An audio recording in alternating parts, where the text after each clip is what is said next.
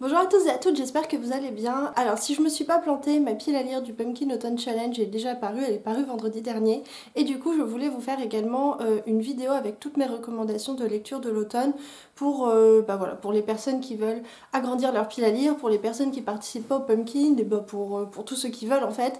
Alors moi à l'automne j'aime bien lire des livres avec une ambiance un petit peu spécifique, un petit peu étrange, pas angoissante parce que je vis assez mal l'angoisse en général, mais un peu inquiétante, euh, des choses un peu brumeuses, un petit peu... Euh, euh, des livres avec des créatures mystérieuses, avec des, des, créatures de la nuit. Enfin bon, je, pense que vous voyez un petit peu ce que je veux dire. Ce, genre de livres-là, c'est des livres que j'aime lire tout le temps, mais particulièrement à l'automne, je trouve que ce sont des lectures absolument parfaites à faire quand il pleut, quand il fait gris, quand il fait froid, et bon bref, euh, j'ai donc 10 livres à vous présenter et je vais commencer tout de suite. Alors les deux premiers livres que je vous présente, c'est vraiment les deux livres que si vous devez en lire que deux cet automne, c'est vraiment ces deux-là que je vous recommande parce que c'est vraiment mes...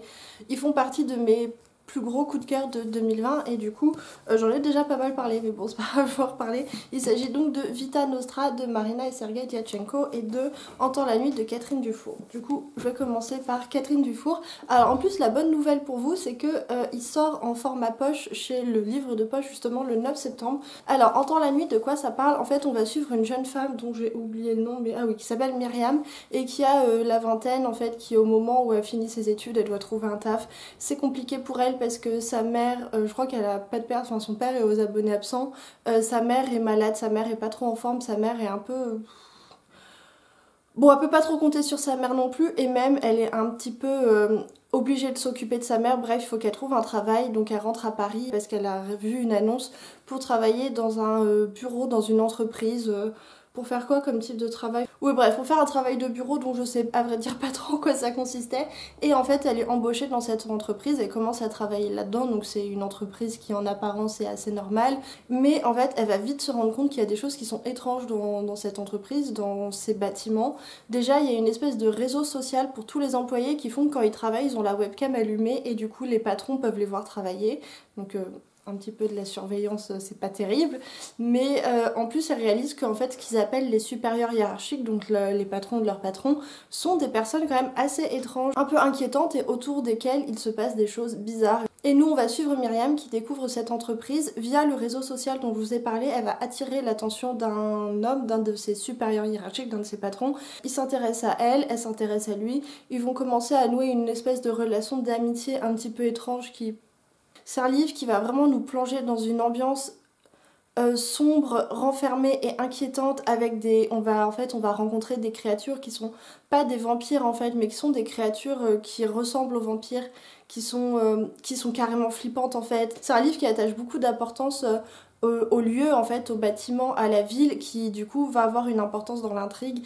C'est un livre que vraiment j'ai adoré, qui est féministe, qui dénonce la maltraitance au travail, les relations toxiques. C'est un livre qui est qui est vraiment super et que j'ai adoré et je suis vraiment tellement contente d'avoir découvert Catherine Dufour. Il y a plein de choses que je pourrais vous dire pour vous donner envie de le lire, mais je veux pas parce que bon sinon ça... En fait il y a tellement de bonnes surprises, quand... enfin moi en tout cas j'ai eu tellement de bonnes surprises en lisant ce livre que j'ai pas envie de vous les gâcher, donc voilà, vraiment je vous le recommande surtout qu'il s'en rend poche et que c'est vraiment parfait à lire, euh, à lire euh, à cette saison.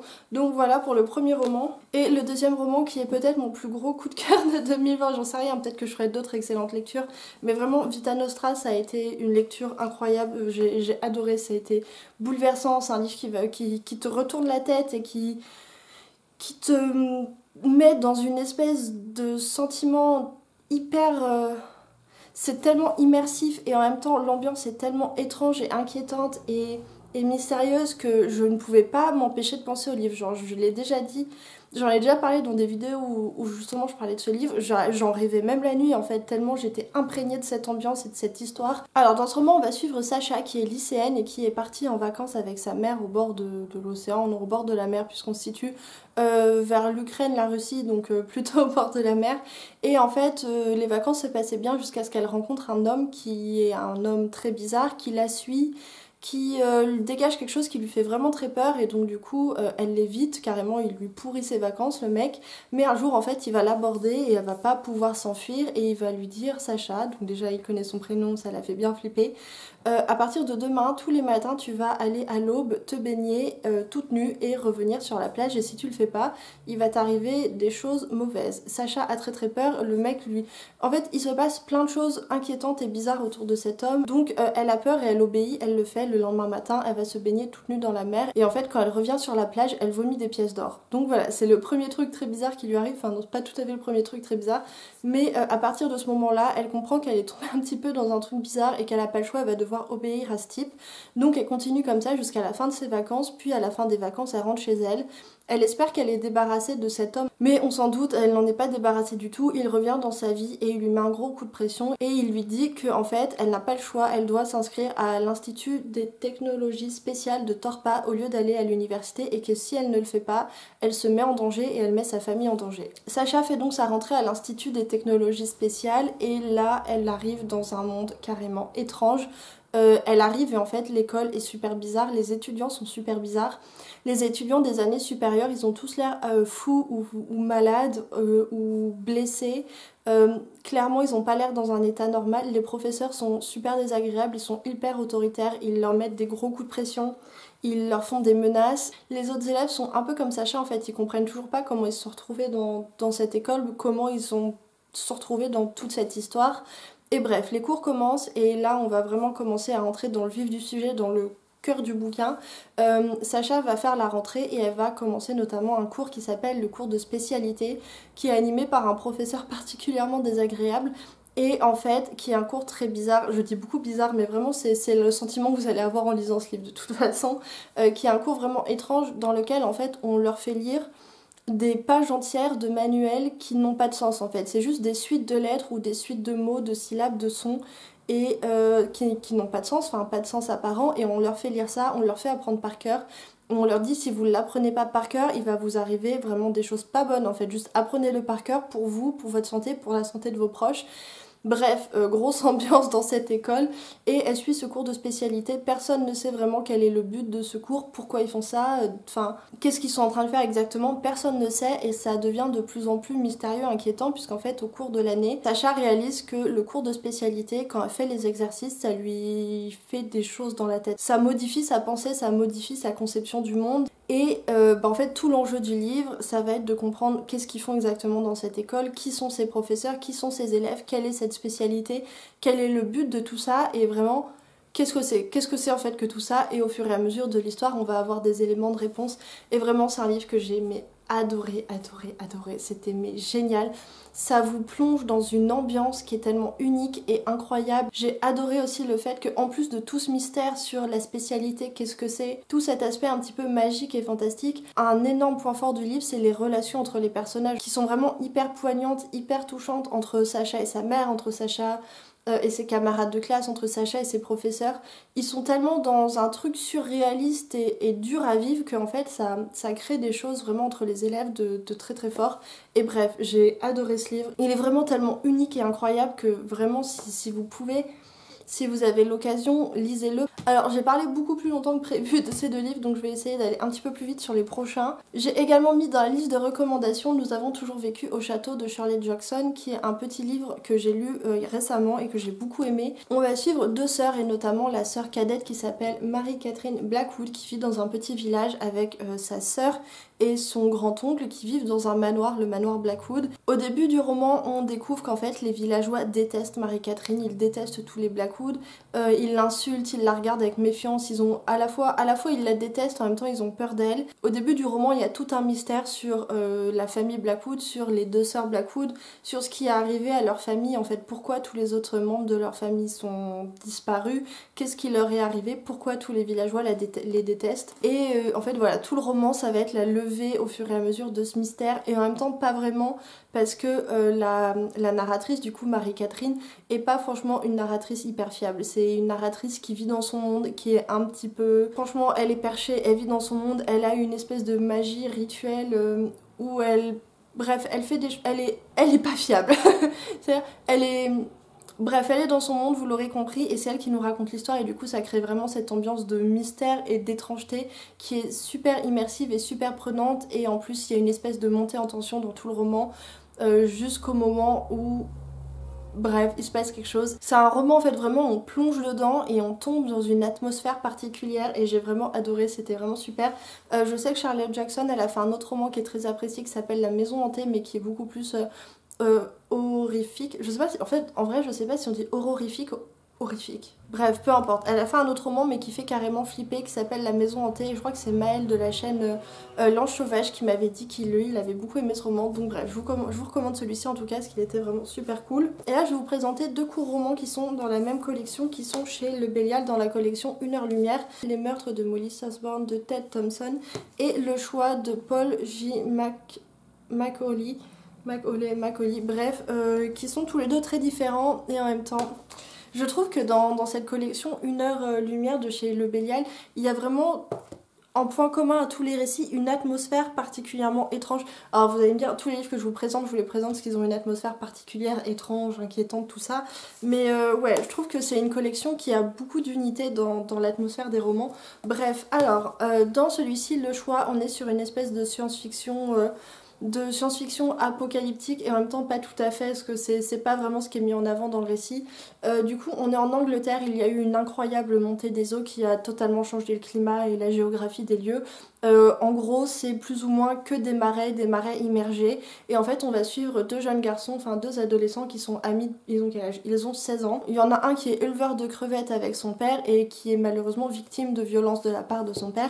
Et un autre qui vit tout seul avec sa mère dans une caravane. Et sa mère, c'était là encore un personnage assez spécial parce que c'était une militante écologiste radicale. Et un jour, en fait, pas très loin de chez eux, il y a un dragon qui va tomber du ciel. Alors, je vous laisse découvrir ce que c'est qu'un dragon, mais. Euh, il y a pas mal de légendes, de choses qui courent autour des dragons et bref, ils sont super curieux, ils prennent un bateau et ils décident d'aller voir euh, bah, ce que c'est que ce dragon et à partir de là, il va commencer à leur arriver des choses. C'est un roman que j'avais beaucoup aimé pour justement cette ambiance dans les marécages, dans la brume, avec... Euh, bah, toute cette étrangeté de la situation, qu'est-ce que de ce que c'est que le dragon, de leurs histoires personnelles à eux, et j'avais vraiment trouvé ça euh, super immersif et super poignant. En fait, c'est un roman que j'avais, enfin un récit, je sais pas si on peut dire roman ou récit, mais bref, que j'avais trouvé vraiment super fort en fait, qui vraiment vous attrapait comme ça et j'avais vraiment beaucoup aimé, j'avais beaucoup aimé la relation entre les deux personnages. C'est un livre qui se lit vite et qui pendant une heure va vraiment vous sortir de votre quotidien et c'était euh, vraiment très chouette. Alors maintenant, je vais vous parler des meurtres de Molly Sosborne de Ted Thompson. Euh, Ted Thompson, c'est celui qui a écrit Rosewater.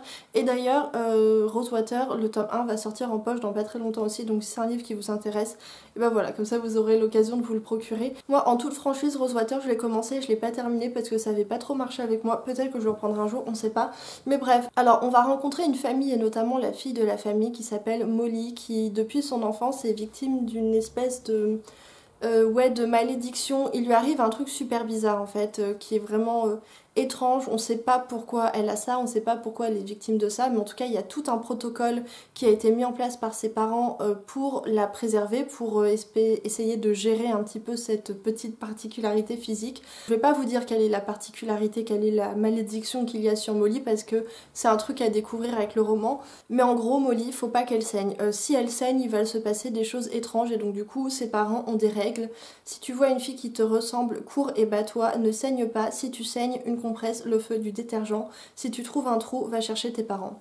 Et donc voilà, Molly a grandi avec ses règles, évidemment, bah parfois les règles suffisent pas et il se passe des choses. Je vais pas vous en dire plus parce que je pense qu'il faut vraiment découvrir. En fait, pareil, c'est la même idée, c'est qu'il est tellement court que si je vous en dis trop, bah vous n'aurez plus rien à découvrir du livre. Mais c'est un livre qui était super intéressant sur le rapport au corps, sur euh, l'ambiance, sur euh, la question de la monstruosité et c'était euh, voilà, c'était un livre qui était vraiment sympa, que j'ai beaucoup aimé. Faut que je lise le tome 2 et, et voilà.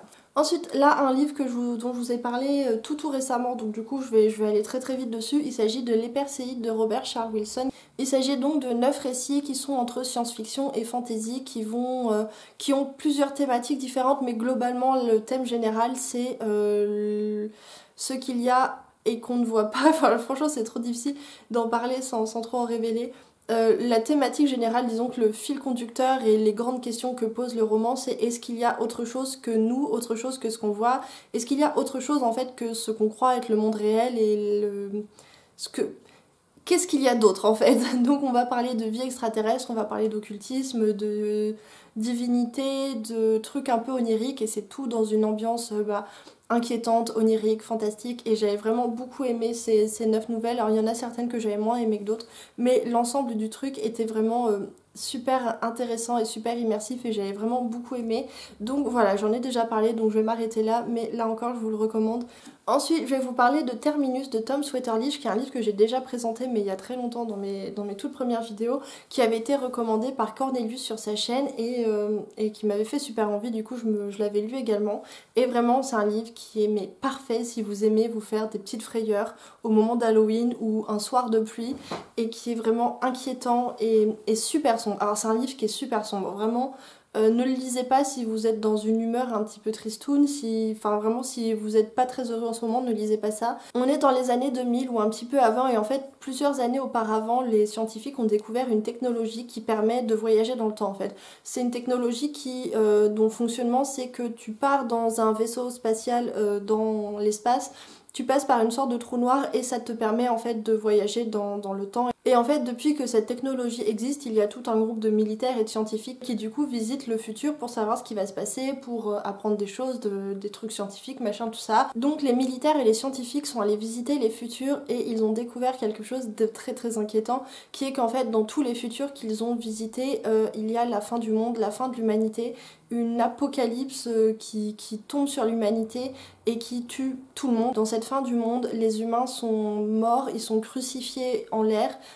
il y a des personnes, ils sont écorchés, il y a des personnes qui se noient.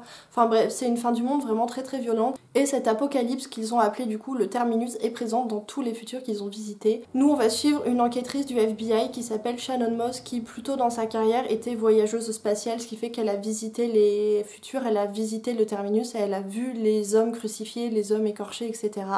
Et en fait, elle a été blessée, donc du coup, elle a dû rentrer, euh, rentrer sur Terre, elle est devenue enquêtrice. Et en fait, un soir, on va l'appeler pour enquêter sur euh, des meurtres. En fait, pas très loin de chez elle, il y a quelqu'un qui a massacré une femme et ses enfants. Et ce quelqu'un, on soupçonne très fortement que ce soit le mari. Le mari qui, justement, était lui aussi dans les forces spatiales euh, qui voyageaient dans le temps et qui lui aussi a vu le terminus. Et les choses vont se corser quand ils vont découvrir que exactement depuis que cet homme a disparu et qu'il a tué sa famille, la date du terminus s'est rapprochée, c'est vraiment très dangereusement rapproché, c'est-à-dire qu'à la base il était prévu pendant plusieurs siècles et depuis que cet homme a disparu et a tué sa famille, il était prévu pendant 40 ans. C'est vraiment super prenant. L'ambiance est vraiment très sombre. Alors c'est pas de l'action, il n'y a pas des, péripéties à tout va, c'est très lent. Euh, l'enquête prend son temps, c'est même désespérément lent parfois, mais c'est ce qui pose l'ambiance, cette ambiance sombre et inquiétante. Et voilà, c'était vraiment super sympa. Ensuite, je voudrais vous présenter Fiery de Raymond Fest, qui est un roman que là encore j'ai lu il y a quelques années mais que j'avais vraiment bien aimé. Euh, c'est un roman fantastique, on va suivre une famille qui vient d'Hollywood et qui a décidé de changer de vie et ils vont s'installer euh, je sais pas si en Irlande, mais en tout cas dans un coin un petit peu celte comme ça où il y a des légendes celtes, le folklore celte. Et au début, tout se passe très bien pour cette famille qui vit sa meilleure vie dans sa nouvelle maison, petite vie à la campagne, tout ça, tout ça. Mais ça va virer au cauchemar quand en fait les enfants vont commencer à être victimes de choses étranges. Euh, de choses euh, voilà magiques, obscures, mystérieuses. En fait, au début, les jumeaux vont commencer à, à voir des choses dans les bois, à voir des créatures, à rencontrer des créatures qui en fait les prennent pour cible de leur magie et de leur malveillance et ensuite ça va être autour de la sœur aînée qui là encore va faire des mauvaises rencontres qui en fait les enfants sont plus sensibles que les adultes à toute la magie et toute l'ambiance obscure et étrange autour de la maison mais ça va être bientôt toute la famille qui va être impactée qui va se retrouver en fait en plein milieu d'une espèce de de déchaînement de malveillance de créatures. Donc voilà, en gros c'est une famille qui va se retrouver confrontée aux fées, aux peuples légendaires, aux créatures mythologiques du, du folklore euh, celte, euh, voilà tout ça. Euh, je vous préviens aussi, trigger warning, il y a des violences sexuelles dans ce roman. C'est un roman que j'avais vraiment bien aimé, qui est très bizarre, qui est hyper malaisant à plein de moments, mais qui bah, se lit vraiment bien, qui est hyper immersif et qui, bah, voilà, qui, qui a une, une ambiance étrange inquiétante, hein, comme tous les autres que je vous présente aujourd'hui. Les deux derniers romans graphiques que je voulais vous présenter, ils sont de la même autrice. Il s'agit de Dans un rayon de soleil et de Sur la route de West de Tilly Walden. Dans un rayon de soleil, c'est de la science-fiction, on est sur du space opéra, on va suivre un groupe de femmes qui travaillent dans un vaisseau spatial, qui est d'ailleurs un vaisseau spatial en forme de poisson, et dont le travail c'est de restaurer des ruines archéologiques dans l'espace, donc tout un truc avec les ruines euh, dans l'espace. C'est L'ambiance est vraiment superbe et ce truc sur les ruines, ça, crée vraiment, enfin, c'est à l'occasion de, de, très très belles images et de très belles illustrations dans le roman. Mais bref, et cet équipage vient juste d'intégrer une nouvelle recrue qui s'appelle Mia. Mia qui a un passé assez difficile, assez douloureux et qui en fait bah, va trouver sa place dans cet équipage et en fait ça va être l'occasion pour elle de de repenser à son adolescence, à ses années de lycée et notamment à sa rencontre avec, comment elle s'appelait, j'ai oublié, avec Grace, je crois. Oui, c'est ça. Et que sa rencontre avec Grace, qui a été du coup bah, son amie de lycée, et plus que son amie de lycée, en fait, son premier amour. Et sur la route de West, on est plus sur euh, une ambiance fantastique. On va suivre deux jeunes femmes, en fait, qui se connaissent, mais rapidement, qui vont se croiser à la station essence. Et en fait, du coup, bah, la plus âgée des deux va, euh, va euh, prendre en, en autostop la plus jeune et elles vont voilà elles vont voyager comme ça toutes les deux elles vont commencer à s'ouvrir l'une à l'autre mais pas trop quand même parce qu'elles ont toutes les deux des bah, elles traînent des casseroles. Et en fait euh, on va avoir un twist fantastique au moment où elles vont euh, découvrir un chat sur un parking à un moment un petit chat blanc bah, comme celui-ci là que vous voyez pas mais qui est vraiment très mignon. Elles vont rencontrer un petit chat blanc qui, qui en fait va s'attacher à elle qui est perdu. Et en fait elles vont l'adopter elles, vont le prendre avec elles. Et elles vont essayer de le ramener à, à ses propriétaires. Et ça devient tout l'enjeu du roman graphique. Le ramener enfin ramener ce petit chat à ses propriétaires alors que justement il y a des hommes mystérieux qui semblent lancer à la poursuite du chat et donc il y a cette espèce d'aventure fantastique pour ramener le chat à ses propriétaires mais ça sert de prétexte à une espèce d'ambiance euh, d'ambiance un peu feutrée et pluvieuse où en fait les deux personnages vont vont se découvrir l'une l'autre, enfin vont s'ouvrir l'une à l'autre et vont parler de leur histoire. Et voilà, c'était vraiment un roman qui était très très beau et là encore très très immersif avec de superbes images. Donc euh, je vais vous montrer ça tout de suite.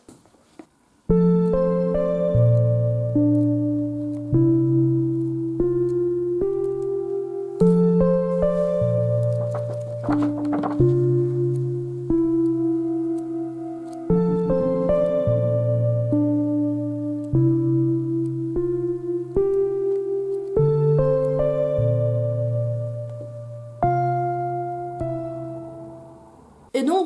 recommandations de l'automne, j'espère que ça vous a plu, j'espère que les livres vous intéressent et vous font envie. Alors j'ai beaucoup répété les mêmes mots, j'ai beaucoup répété inquiétant, mystérieux, étrange, bizarre, mais c'est parce que c'est vraiment les livres que je voulais vous présenter, c'est vraiment les livres que je préfère lire moi personnellement à l'automne. Et voilà, je me suis dit que peut-être vous aussi et que du coup ces livres vous intéresseraient. Donc voilà, j'espère que ça vous a plu, euh, je vous souhaite de faire de bonnes lectures et je vous dis à la prochaine.